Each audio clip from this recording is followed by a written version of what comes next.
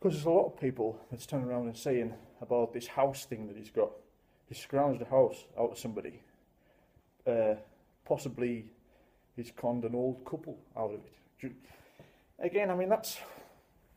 It's a bit of a leap because Mo didn't mention anything about there being an old couple. But he did mention something about if they were, if they happened to die, the house would be left to him. Which is, I think that's where people are looking at and going, hold on a minute, how old are these people? It's a very strange thing to say.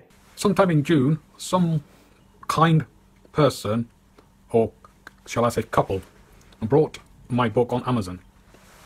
And through that, they were moved by my story to an extent that they've offered me a five bedroom house to stay in, rent free, absolutely free of charge, rent free until actually until I die. Actually, it will be a case that that, that if the couple die before I do, for example, that I can have that property, and if I die, I can then leave that property in a trust.